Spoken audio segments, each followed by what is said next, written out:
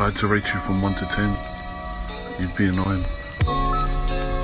Because I'm the one you're missing.